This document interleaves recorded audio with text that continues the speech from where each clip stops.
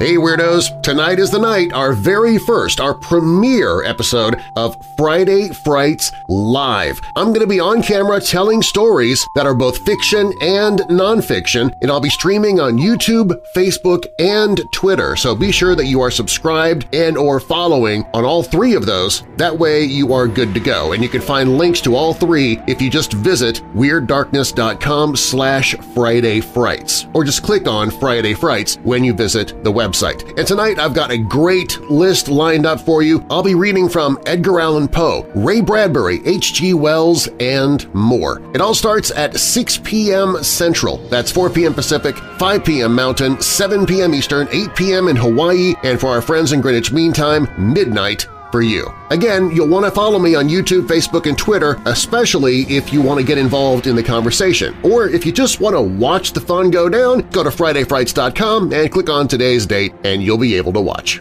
Hope to see you tonight.